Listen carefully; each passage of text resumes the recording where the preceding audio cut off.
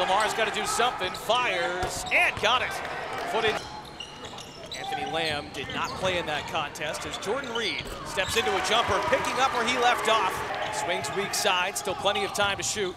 Reed steps back and connects. He's his worst conference defeats ever in his long tenure.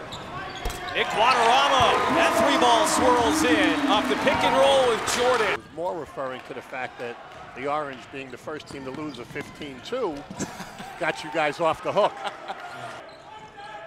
Swings Garrity.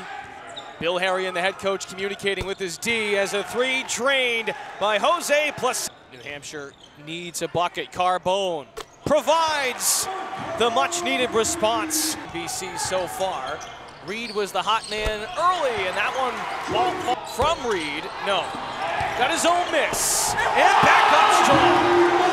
And the yell. 10 on the shot clock. New Hampshire shooting 42%. Watkins splash. Wildcats bench. Lamar steps into one. Yes. As we talked about, Hopkins for three. Yes. last broadcast, actually great law firm. Elijah Jordan with a hand in his four to go. Idle Rock puts it down from three, and you the final 59 to 51.